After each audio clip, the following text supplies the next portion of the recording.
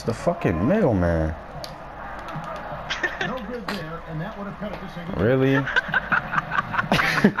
Go with that bullshit. It's the fucking middleman.